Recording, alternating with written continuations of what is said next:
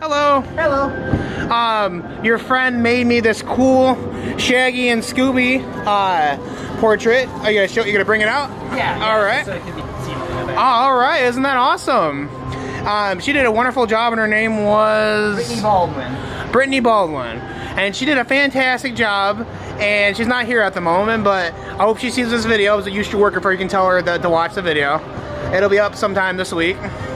And uh, do you like doing these uh, portraits? Yes, yes, I do. Is there any one in particular that you uh, that, that you had like a great experience with, or Uh, like any stories? the one that sticks out to me, let me, was this one. This one kid came up to me and he asked, "Hey, could you uh, draw me in like a? You can draw me, but can you uh, change my shirt to like a gray button-up shirt?" Oh, all. And then, uh, and then I'm like, okay, yeah. And you kind of like put me at like, like, like this? And I'm like, okay. And then when it came time, he said, okay. Also, I want the colors of this flag in the background.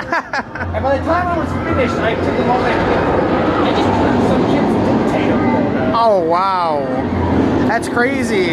Yeah. Luckily that didn't that that, that didn't get out. Yeah, no. Like, I, I- I got a picture of it on my phone just because, like, it is a story. Advice for anybody who wants to draw in the future and do something like this? Never give up.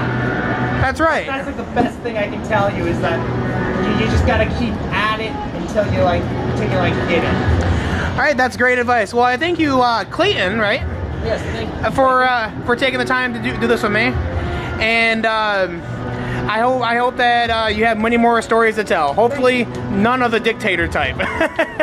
That one only hit me till like after I was like matting and I'm like, oh wait a minute. All right. Well, thank you. Thank you.